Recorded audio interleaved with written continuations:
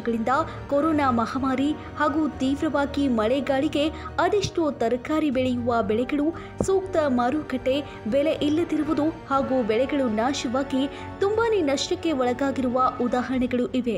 ಇಂತಹದ್ದಂತೆ ಪರಿಸ್ಥಿತಿ ಬೆಳಗಾವಿ ಜಿಲ್ಲೆಯ ಕಿತ್ತೂರು ತಾಲೂಕಿನ ಮಲಪ್ರಭಾ ನದಿ ದಂಡೆಯಲ್ಲಿ ಬರುವ ಮೀರಾಪುರ ಗ್ರಾಮದಲ್ಲಿ ನಿನ್ನೆಯ ರಾತ್ರಿ ಸುರಿದ ಭಾರೀ ಮಳೆ ಹಾಗೂ ಬೀಸಿದ ಗಾಳಿಗೆ ತೋಟಗಾರಿಕೆ ಬೆಳೆಗಾರ ಕಿರಣ್ ಬೀಳಕಿ ತನ್ನ ಅರ್ಧ ಎಕರೆ ಜಮೀನಿನಲ್ಲಿ ಒಂದು ಲಕ್ಷ ವೆಚ್ಚದಲ್ಲಿ ಸಾಲ ಮಾಡಿ ಹಾಗಲಕಾಯಿ ಬೆಳೆದಿದ್ರು ಇನ್ನೇನು ಕಟಾವು ಮಾಡಿ ಮಾರಾಟ ಮಾಡಬೇಕು ಎನ್ನುವಷ್ಟರಲ್ಲಿ ಸಂಪೂರ್ಣ ಹಾಗಲ ಬಳಿಯೇ ತೀವ್ರ ಗಾಳಿಗೆ ನಾಶವಾಗಿ ಕೈಗೆ ಬಂದ ತುತ್ತು ಬಾಯಿಗೆ ಬರೆದಂತಾಗಿದೆ.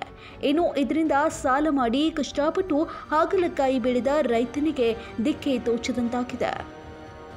ಆದ್ದರಿಂದ ಇವರ ಮನವಿ ಮೇರೆಗೆ ನಮ್ಮ ನ್ಯೂಸ್ ಸಮೂಹದ ರಾಜ್ಯ ವಿಶೇಷ ಪ್ರತಿನಿಧಿ ಬಸವರಾಜು ಭೇಟಿ ಕೊಟ್ಟು ಇದರ ಬಗ್ಗೆ ಸಮಗ್ರವಾಗಿ ವರದಿ ತಯಾರಿಸಿ ತೋಟಗಾರಿಕೆ ಇಲಾಖೆ ಅಧಿಕಾರಿಗಳ ಗಮನಕ್ಕೆ ತೆಗೆದುಕೊಂಡು ಬಂದು ಕೂಡಲೇ ಪರಿಹಾರ ಒದಗಿಸಬೇಕೆಂದು ಆಗ್ರಹ ಮಾಡಿದ್ದಾರೆ.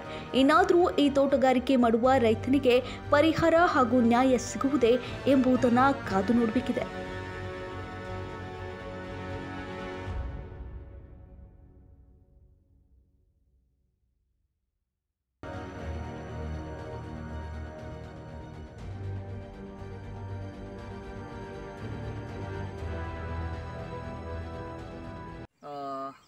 ನಮಸ್ಕಾರ. ನಾನು ಬಸವರಾಜ್ ಮಾತಾಡ್ತಾ ಇದ್ದೀನಿ, ಪತ್ರಕರ್ತರು. ವಿಶೇಷವಾಗಿ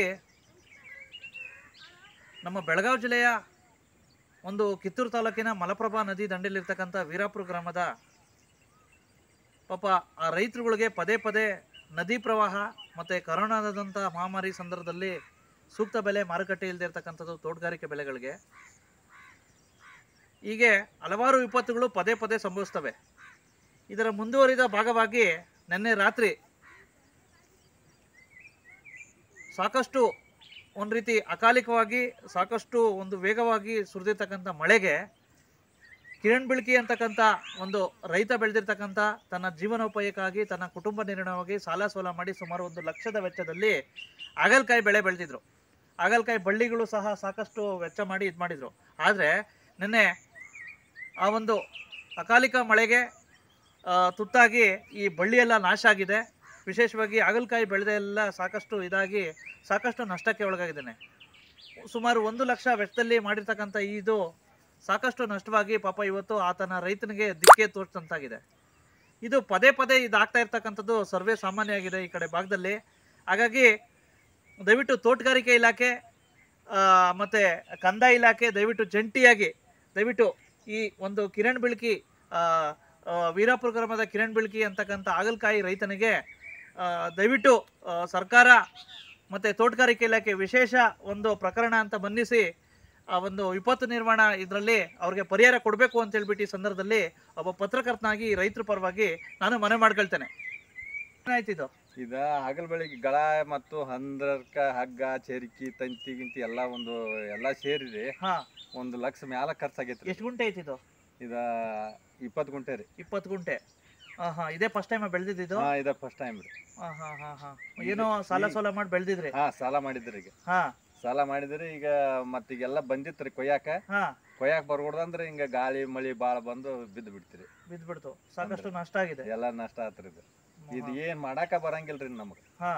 ಇದು ಅಂದ್ರ ಎಬ್ಸಾಕ ಬರಂಗಿಲ್ಲ ಬಳ್ಳಿ ಅದನ್ನ ಏನ್ ಮಾಡಾಕ ಬರಂಗಿಲ್ಲ. ಎಲ್ಲ ದಾರ ಮತ್ತು ಚರಿಕಿ ಹಗ್ಗ ಗಿಗ್ಗ ತಂತಿ ಎಲ್ಲ ಹಾಕಿ ಬಿಟ್ಟೇವ್ರಿ ಅದಕ್ಕ. ಅದು ಎತ್ತಕ್ಕ ಬರೋಂಗಿಲ್ರಿ ಹೌದಾ?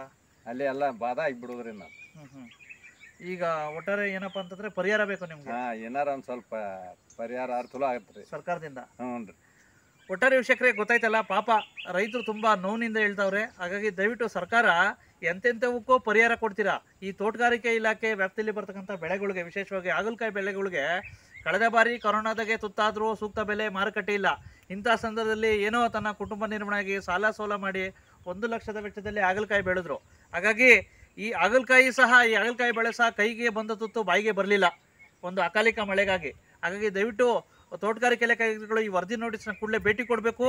ಈ ದಯವಿಟ್ಟು ಸಮಗ್ರ ವರದಿ ಮಾಡಿಕೊಂಡು ದಯವಿಟ್ಟು ತುರ್ತಾಗಿ ಈ ಒಂದು ರೈತರಿಗೆ ಅಗತ್ಯ ಒಂದು ಸೌಲಭ್ಯನ ಮತ್ತು ಪರಿಹಾರನ ಕೊಡಬೇಕು ಅಂತ ಹೇಳ್ಬಿಟ್ಟು ಈ ಸಂದರ್ಭದಲ್ಲಿ ಮನೆ ಮಾಡ್ಕೊಳ್ತೇನೆ.